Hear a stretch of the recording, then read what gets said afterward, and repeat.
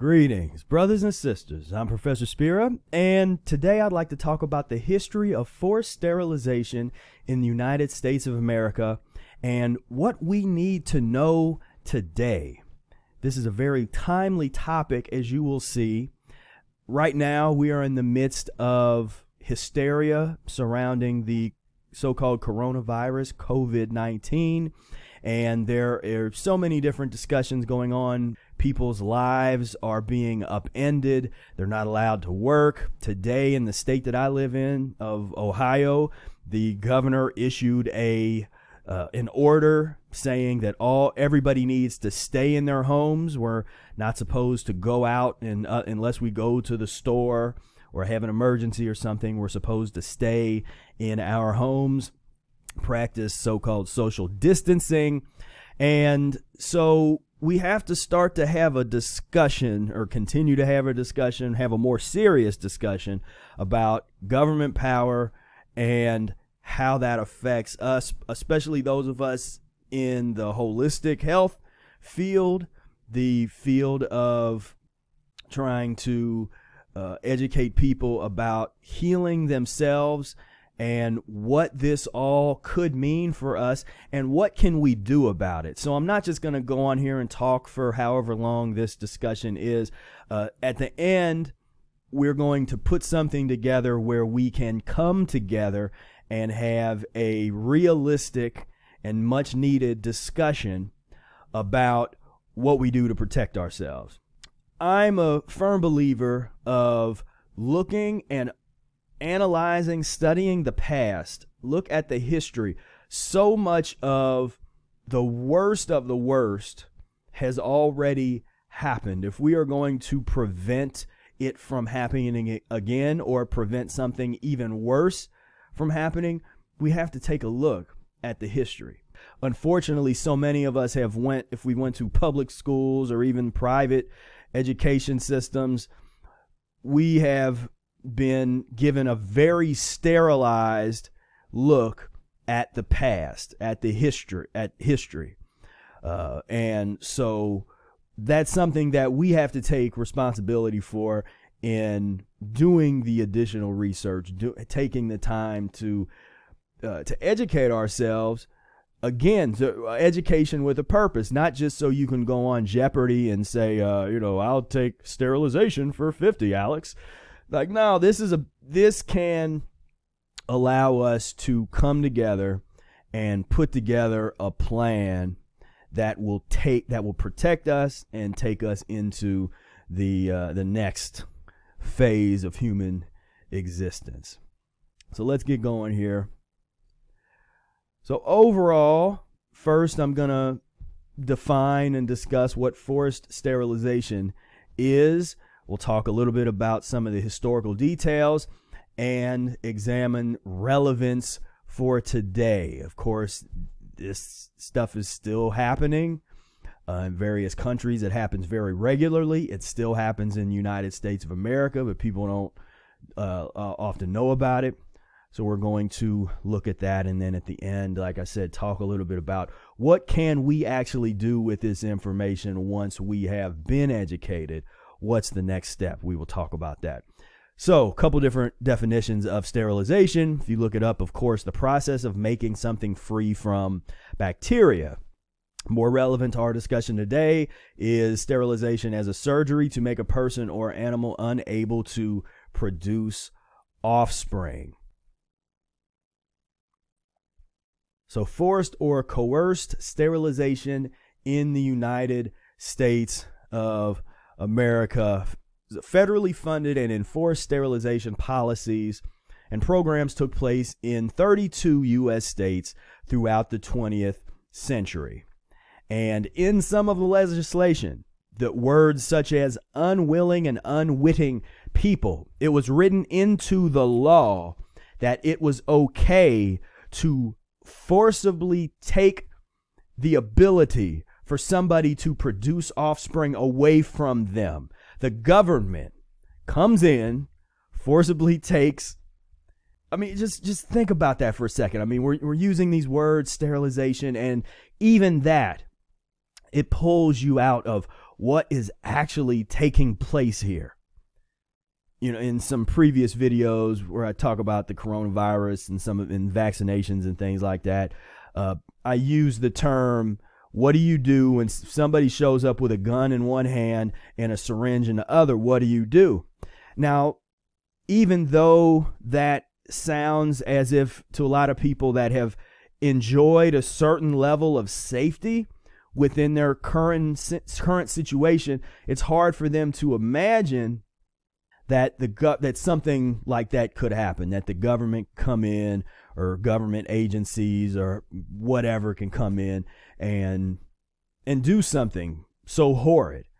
But the problem is it since it doesn't happen to enough people to really get everyone's attention or there would be an outrage about it it happens to marginalized people people that society has uh, ostracized or thrown away then it is easily ignored most significantly from 1907 to 1962 uh, over 64,000 people were uh, forcibly sterilized in in the United States. Of course, these are the general statistics. I tend to want to take closer look at these kinds of things. You sometimes these statistics are uh, underrepresent uh, actual numbers, but this is sort of the general consensus. So this was a uh, used as a means to control undesired populations or undesirable populations, uh, often immigrants, people of color, poor people, unmarried mothers, the disabled, and mentally ill people were often the victims of this horrendous uh, legitimate policy. Every time somebody says, well, it's the law, these law abiding citizen mentality of folks that say, well, it's the law. Uh, this was the law. Does that make it okay? Did that make it okay? Is it justice? I want to know if something is just. I don't care what the law is if it's unjust. Just and justice and real justice, real ethics is always will trump the so-called law when the law is uh, something so hideous. And uh, there's a quote that I'll read out of a. This was uh, posted on hrw.org. Uh, a sterilization is an irreversible medical procedure with profound physical and psychological effects. Uh, forced sterilization is an act of violence, a form of social control, and a violation of the right to be free from torture and other cruel, inhumane, or degrading treatment or punishment. Very uh, some awful stuff.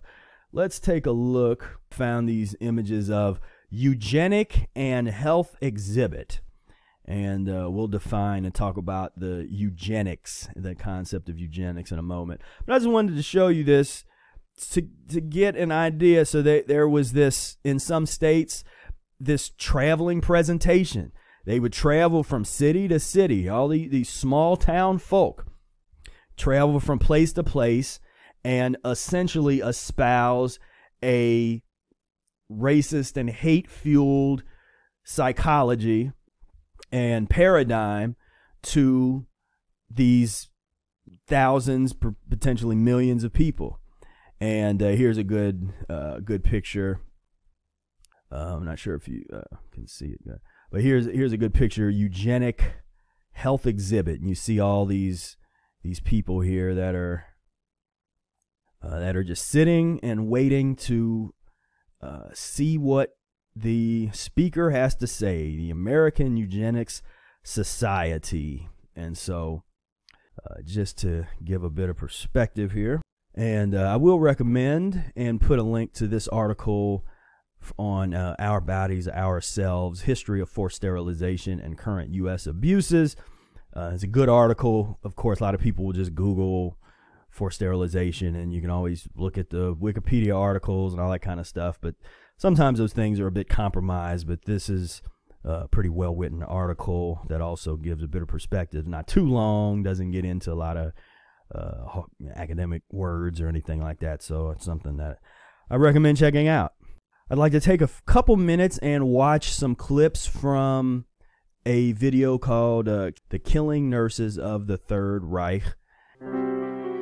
The basis for Hitler's plan of racial hygiene was a concept called eugenics, which is the pseudoscience of developing a superior race.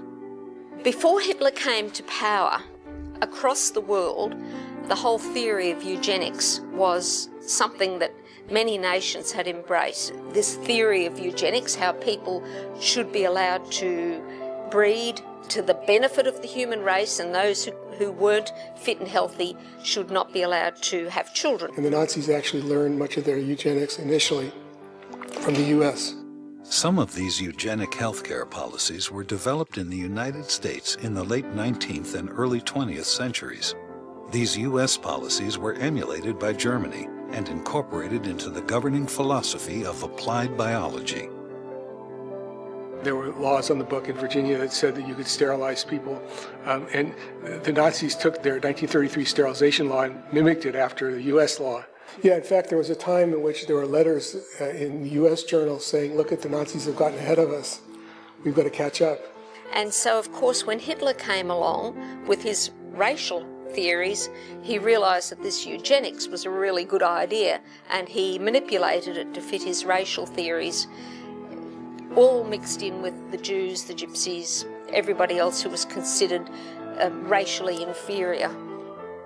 All of this would lead to an appalling era in world history called the Holocaust, a period of persecution and mass murder.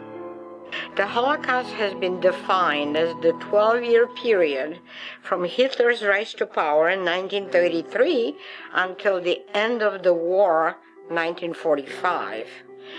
It was a government planned, government supported mass extermination or mass killing. And uh, while it was targeted towards Jewish people, there were many other groups of individuals that suffered during the Holocaust. Nazi doctors sterilized citizens against their will, euthanized 200,000 disabled German children and adults, and created the gas chambers and crematoria that were used for the mass murder of six million Jews, Poles, and Gypsies. Without the full support of physicians, scientists, and nurses, the Holocaust, as it unfolded, could never have happened. In the U.S., there were laws that could require that people be sterilized against their will. Sterilization laws were widespread in the U.S., most notably in Indiana and North Carolina. But other states, including California and Virginia, allowed sterilization even into the 1970s. In fact, in the early 20th century, the U.S. led the world in compulsory sterilizations. A very famous law was passed in Virginia that said it was okay to sterilize the retarded. And it was brought before the Supreme Court, and Oliver Wendell Holmes said three generations of imbeciles is enough, saying that it was okay to sterilize. While in Germany it became the leading ideology, then it was implemented into action. Hitler promised the German people they were creating the master race. I think the master race would have been uh, the Nazis' view of a strong, um, blonde, blue eyed, healthy person who had no genetic defects and who was pure Aryan. So, uh, a few more points on the history of eugenics in the United States. I want to uh, take a look at this video of uh, Charlie Follett. 1945, California's Sonoma State Home.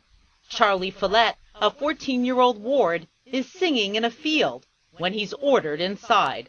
First, they shot me with some kind of medicine, supposed to deaden the nerves.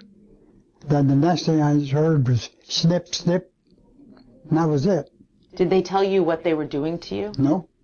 They didn't have to tell him. He knew. A sterilization by force. How did you know what it was? Well, Because, see, there's been others in there that had it before me.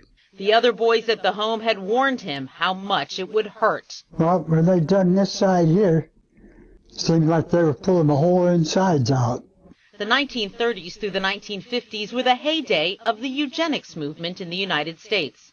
The goal? To rid the country of the feeble-minded, defectives. And it wasn't some fringe or secretive program. It was well known and paid for by the states where it was practiced. Entire families labeled shiftless, degenerates. 60,000 men and women, boys and girls, sterilized.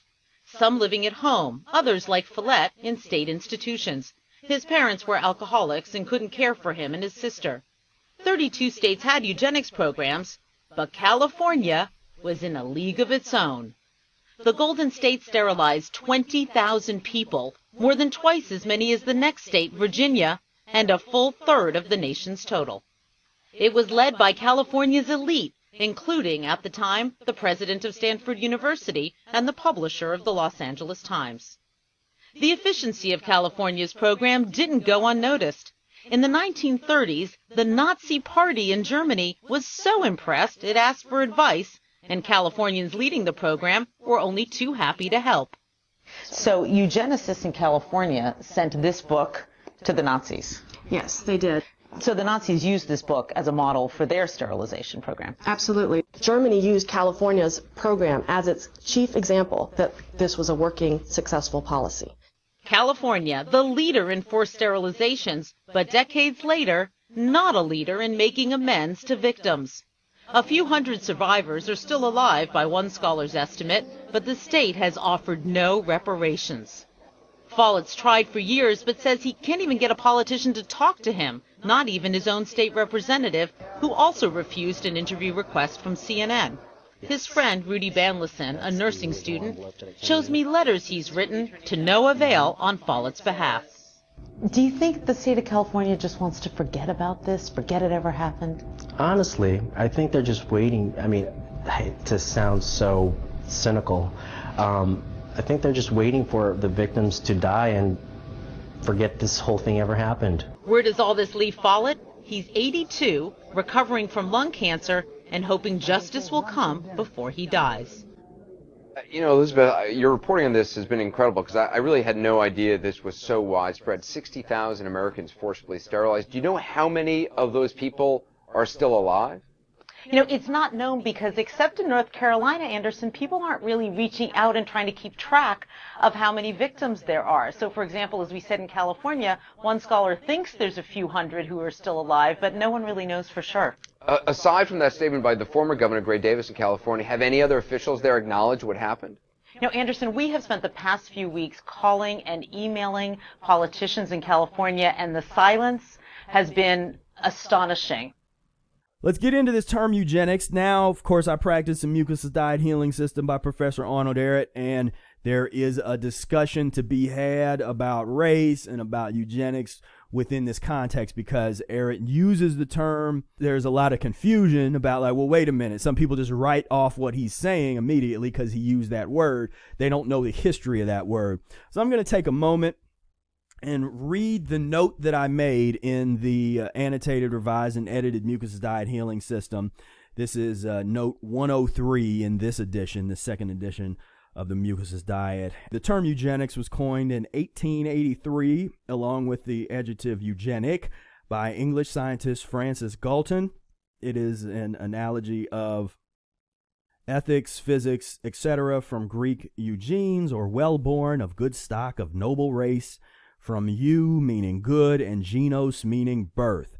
The term is associated with a biosocial movement and philosophy advocating the improvement of human hereditary traits through promoting higher reproduction of more desired people and traits and reduced reproduction of less desired people and traits. Propagators tended to believe in the genetic superiority of Nordic, Germanic, and Anglo Saxon peoples, supported strict immigration and anti miscegenation laws, and supported forcible steril- sterilization of poor, disabled, and immoral people. Ehret uses the term eugenics to make a philosophical point about the potential for developing an improved race of humans through the mucusless diet healing system. For many modern readers, this term is off putting due to its historic association with racist and genocidal policies. Of course, Ehret wrote this text well before the climax of radical eugenic policies in the United States and by Adolf Hitler in Germany. Yet Ehret's beliefs about a so called superior race of people are diametrically opposed to the white supremacist mentality that was the foundation of most eugenic programs. Ehret's proposition is that what we identify to be race, which is accepted today as a socially constructed belief system and not a biological fact by most scientists and academics, is a physical expression of the degree to which one's organism is overcome by mucus and toxemias. In other words, the darker you are, the more mucusless you are. This perspective is in line with scientific findings that reveal Homo sapiens to be a tropical frugivorous or fruit eating species that has its origins in equatorial Africa. Ehret is not using the term in a bigoted way, insofar as he proudly speaks of his skin becoming darker while doing long fruit fast. On the other hand, he says that he noticed that his skin became lighter after eating even one piece of bread. Thus, from Ehret's perspective, skin color is not based upon how close an organism lives to the equator or on the production of melanin, what Ehret refers to as mineral salts, but is based primarily on the amount of uneliminated waste the body contains on the cellular level. In sum, Ehret's use of the word eugenic is quite unique and different from many of his peers. Today, terms such as genetics, natural selection, evolution, etc., may be more politically correct labels to make the kind of points Ehret is espousing. Essentially, it is a quote survival of the fittest argument whereby the fittest humans are those that live in accordance with natural laws and eat a mucusless diet. 2017, the uh, Tennessee judge issued an order offering inmates a 30 day sentence reduction if they underwent permanent birth control. So, vasectomies for the men, four year birth control implant for women, and of course, this is coercion, human rights violation. But this is 2017. So, we must understand that you know, sometimes when I make this kind of point, I feel as if I have to because in the United States of apathy, there is a lot of naivete.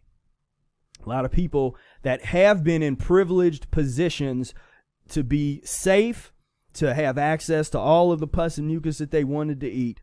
They have uh, they don't realize how bad things are outside of their bubble.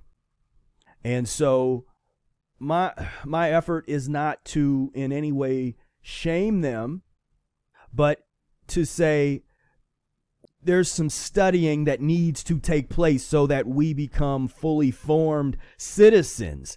To be informed citizens, you've got to know this history. You got to know the history of slavery, know the history of the world wars and the Holocaust and the Spanish flu pandemic of 1918. These things that I'm talking about, in my view, are all things that we need to know just to be a, if you want to consider yourself a world citizen. And if you're watching this, then you are partaking in the systems of society. So I don't want to hear like some people in the comments like to they, they kind of go off on the new age spiritualism uh, path, saying, "Oh, where this is, it's." It's just, it's all love, and this is just all the illusion of society, and you. It's it's a very apathetic, a very you know let things just do what they're going to do kind of thing. I and I don't have a problem, as we talked about in another video, with the renunciant, with with the the tradition of renouncing society. But if you're watching this video, you have not renounced society. You are still partaking in the systems of society. And if you are going to partake and you're going to be a part of this karma, then that, that apathetic attitude, in my opinion, is doing everybody a disservice because we have work to do. If you are going to leave society and go off on your mountain and meditate all day and sort of live this spiritual life, you have an, an advocate, you have a cheerleader, and you have a fan in me. But if you're going to stay here, I don't want to hear about that it's the Kali Yuga or it's you know you know no like this is work that we need to do if we want to try and survive.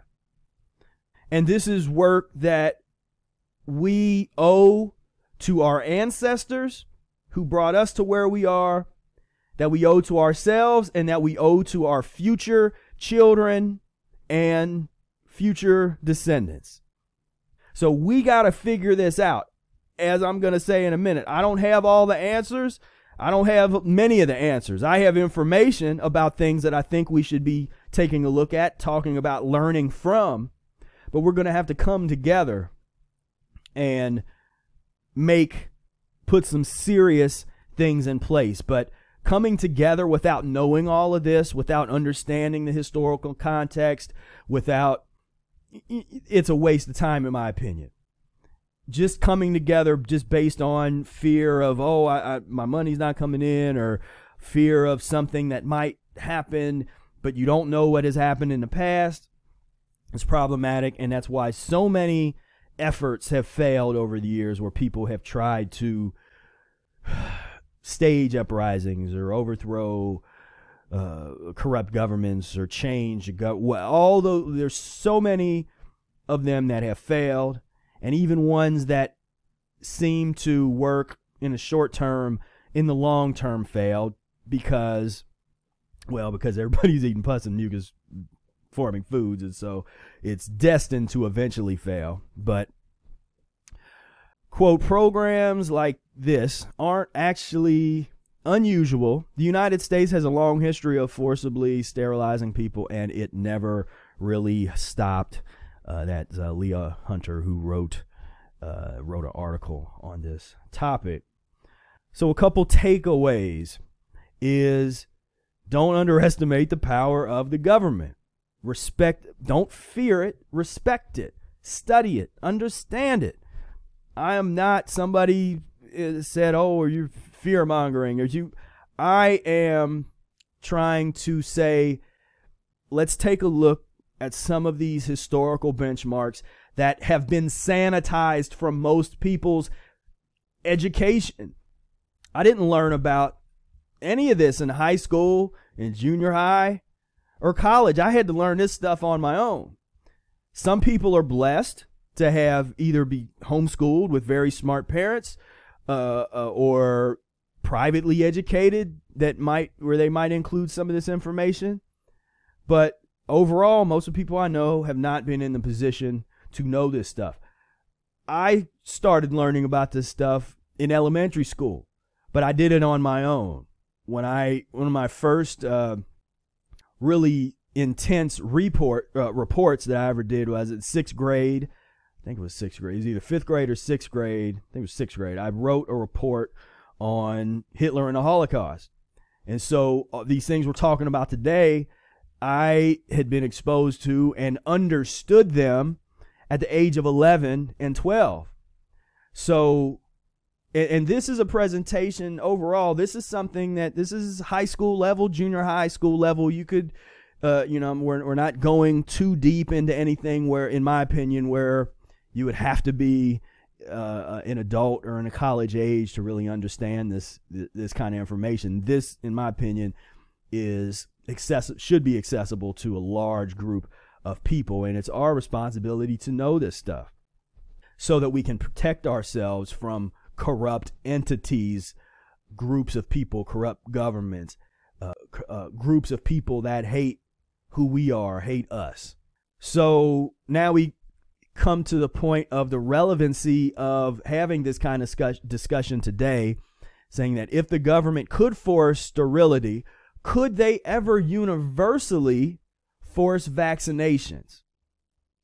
So I'm putting this discussion here within this context so that we can understand there's, there's so many examples of this kind of, of the government overreach. Oftentimes, when we talk about them, those of us that are keenly aware of these things happening uh, all the time, when we nor and normally when we talk about them, people, the average person, sort of just, ah, that's yeah, whatever. Oh, you're just, you know, you're just hyped up. You're whatever. But all of a sudden now, people are starting to become a little bit more aware because you have government agencies that are saying you can't leave your house. You're on house arrest. Curfew, you need to be in by a certain time. Rolling up the road, what what what's these tanks doing? What's all these military vehicles doing in my town all of a sudden? What is going on? And those of us that have been consistently uh, uh, chiming the alarm, all of a sudden, some of the things that we're talking about don't seem as outlandish. I try to put my my message within the context of history to show you that there's nothing new under the sun. This has happened before, and it's gonna ha- and it and it's gonna happen again. And and and unless we do something, it's gonna keep on going on. But what is often underestimated by corrupt, pus-filled folks that wish to just dominate and control us and use us, the people, is that through education, organization, mobilization, and implementation, we can protect ourselves. We can protect our freedom, our autonomy, and that is what I would like to talk about when we have our meeting, which is going to be this Wednesday. So I know if you're watching this video in the future, uh, we will already have had this meeting. But I am calling all brothers and sisters that's into practicing the mucusless diet, or if you're in this realm, every for the past several weeks, every week we've been having a a get together, an online meetup, mucus free meetup. And in this week, we're just going to put some time aside. We won't do it the whole time, maybe just you know, 40 minutes or an hour or however long it goes. And we're going to talk about uh, these issues and talk about ways and strategize on ways that we can protect each other because we have to take this very seriously. So, the prospect of universal forced vaccination. Should we be concerned about universal forced vaccination? My answer is yes. Because everything is leading these decisions that the government's making when with what's going on right now, we have to be vigilant we have to look at what laws and policies are being put into place. While there is a lot of fear, people are concerned about economic issues, their money, their family, their all of these things. People are more likely to not see something happen. That some, uh, some kind of policy, more rights. Every time this happens, more rights are taken away. And we, as the people, the only way for them to be taken away is we have to let them be taken away. And so I am saying that yes, we should be concerned about this prospect of universal forced vaccination because anytime you're talking about forcing somebody to do something, whether it's forced sterilization, forced vaccination, any kind of forced operation, any sort of forced medical stuff, you are infringing on human rights, you're infringing on local, national, all kinds of there's all kinds of rights that are being infringed upon. But to know that you have to know what are your rights. But what can we do about this? So my goal with this discussion is to just start the conversation. I'm not, like I said before, I'm not here to provide all the answers. Of course, my opinion is everybody should start practicing the mucusless diet healing system, get on the transition.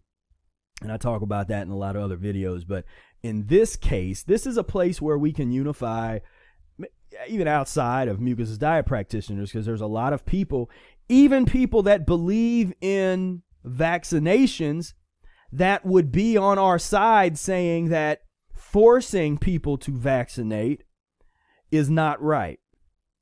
And so a coalition is going to have to eventually be put together so that we can uh, unify and fight fight back.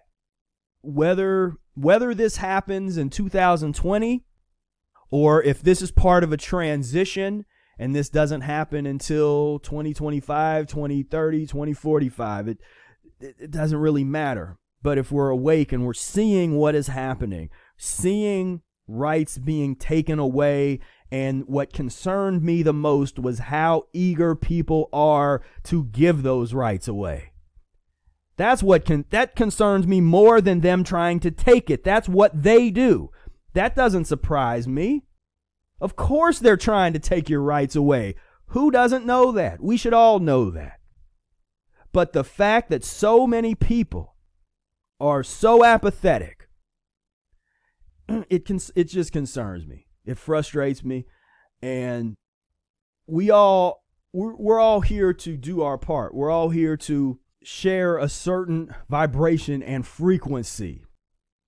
And so I is my viewpoint on it. I don't I don't take credit for you know everything that I'm that I'm sharing or the, these ideas or all that kind of stuff. I give credit to the spirit you know, this uh, I'm the the I'm I've what I've tried to do in my life is remove obstruction so that whatever wants to come through me is able to do so.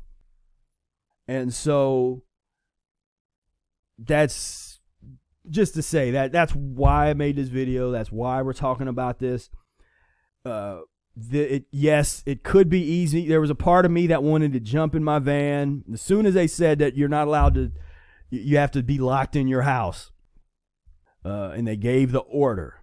There's a, a part of me wants to leave all this behind, this whole charade, because unlike a lot of people that say it, I I, I could go off into the wilderness in and, and leave society behind and do that that type of lifestyle, the life of the renunciate. But I'm answering a call. I've been called to do something that I don't see anybody else doing, talking talk about something in a way that I don't see other people doing. I have no interest in parroting what other people are saying. They're already saying it. I could just share their video with you and say, here, if you want to hear that. But nobody else is talking about this stuff in the way I, I know I'm talking about it. And so I've been called to do this because hopefully it helps somebody. Hopefully, if it helps one person, if one person gets something out of this and is able to protect themselves from whatever's coming down the pike, then I feel like it's worth it. With that said, mucus free meetup discussion on this topic. It's going to go down this Wednesday. That's March 25th, 2020. Uh, to be a part of this, you have to be in the Mucus Free Life Insiders Club. You can hit the link below if you're not already on the mailing list, the Insider Club mailing list. Hit that link below, subscribe. Uh, you'll also get notified if you are a part of the Mucus Diet Healing System support group on Facebook. You can find us. Uh, but this is going down. So we're just we're going to come together. A couple things I'd like to talk about. How might forced vaccinations be implemented? Uh, I, I want us to create a list put our minds together and just, okay, what's all the different ways that they could conceivably execute that type of order? What local, state, federal, international, and human rights laws might this violate? So a little research can be done because we're going to have to deal with things from different angles. People are coming from different angles. Some depending on what state you're in, depending on what you identify your government to be. You know, we're we got to come together and understand uh, the, all these different dynamics that will affect uh, how we go about uh, protecting ourselves. uh, ways to fight forced and coerced vaccination. And uh, a couple examples that I just put up you have the, the, education, which is important. People need to be educated on the topic. Uh, courts is uh, w- what kind of things are, can be can or can't be done using a courts approach, using the law and, and lawyers. Uh, physical resistance. What's that? What does that look like? What does does it work? Does it not work? What about you know what that these this is just a discussion. Oh, I'm just starting the conversation. He Said I don't got the answers. Starting the conversation because I don't see good quality conversations on the topic really happening yet. And again, there's there's a little bit too much naivete that nothing like this can happen. Even though if you're a student of history, you know that it's happened again and again and again. The from slavery to the forced sterilization to the Holocaust to we could just make the list to all of the people in places where there are still policies in place for for sterilization. I mean, there's we we have to we have to grow up, and and and it is a spiritual for again for I I always feel like I have to address that because it tends to be where I get pushed back from people is sort of the new age spiritualists because they want that uh that's that kind of soft and cushy ignorance that like like let's just ignore what's happening in the world as much as possible. To me, the real advanced spiritual person along that type of philosophy is going to be somebody that is able to because it, it's a part of the human experience, society, so many people's experiences. A true spiritual master is somebody that is going to be able to take all of that in and not and have the vibration level stay high, not descend into fear or anxiety. To be able to take all of that in empathetically and not shut down. To me, that that is a spiritually advanced person someone that can take all this stuff in and not let anger cloud their judgment to do stupid things. That is an advanced spiritual person. Someone that is that is advanced spiritually is not somebody that just ignores all these things, puts their head in the sand and just says, "Oh," and and and hopes that they don't come for you, that you don't have to that you're protected, that you are in a privileged space where you can uh, a safe space where you don't think that they're going to come for you.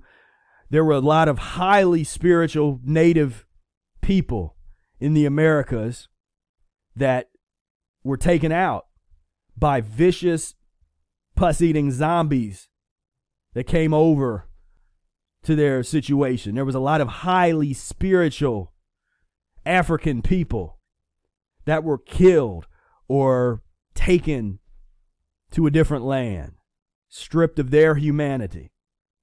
This is not new. These these things the, this is not even extreme. This is not an extreme discussion. It's a historically based discussion and taking a just taking a look at these facts, what happened and figuring out what is the best course forward for us. So we stand the best chance. And we got to understand again this is a for those that have been called you know this is this is a calling in my opinion uh, when we talk about the uh, you know or organizing education organization so this meeting would represent the organiz- uh, organization. Starts off with a few people getting educated. Those few people come together and start to organize. Then, then you start to mobilize. See, uh, a lot of people mobilize. Uh, when I say a lot of people, sort of revolutionaries in the past, have tried to mobilize people without an educational program. Just find something to, to rally people around and, and use their anger and frustration to bring them together and then sort of control that group to their own ends and whatever. And that always generally ends in some type of catastrophe. What I'm talking about is education. We get get this information, really get un- understand this stuff. We come together and organize, put together a plan, then mobilize. And a big part of the mobilization process is an educational process. And then implement whatever the community comes up with in terms of a plan when the time is right, when it is necessary to then implement that plan, then the implementation takes place. So, uh, so finally, we want to get a list of the best scholars on the topic, historians, lawyers, these these different these different entities that's on this topic, as well as a short list, not a huge list, but a short list of really good books that we could read, uh, that we can circulate, so we're all on the same page. That's part of the the education and the organ- organization part. Let's let's get on the same page because everybody's coming from with really different backgrounds, with different philosophies, different spiritual, religious belief systems, different experiences in wherever they live, whatever country they're living in. So let's get so that helps us get on the same page and we all kind of study some of the same things so that we can ha- have a unified understanding of what is happening. So I'm going to wrap this up. I thank you for hanging in there with me on this one and uh, I hope this was informative. I hope that you uh, enjoyed the discussion, and uh, I urge you to come to if, you're see, watching this before the meeting Wednesday. I urge you to come uh, to our discussion and uh, be a, be a part of this uh, transformation. This is a transition. you know, transition, revolution. You know, to me, those words are uh, uh, are akin in some ways. You know, this is a a transitional moment uh, in in history, and so you're being called as I'm being called. You know, if you're getting this message, you're being called to act. You know, we we can't be naive to think that nothing's gonna happen. We can't just sit, but not on this one. You know, you'll notice I don't come out and talk about these things all the time. You know, in the past, there's some things that have happened, you know, over the past 10 years, and people are, oh, you're going to make a video on that? Or like, people are freaking out about something, and I'm like, that's nothing. there's there those are not important. It's going to blow over. You're not even going to remember this in a couple months. This is different. This is a different situation that we're in right now. And so I'm I'm here answering my call, and I urge you to answer your call. Let's come together. Let's uh, educate each other. Let's support each other, and let's protect each other from whatever is is coming going to be coming at us. And so, with that, I thank you so much. And uh, if you would share this video, get this information out there uh, as as wide as we can, and until next time, peace, love, and breath.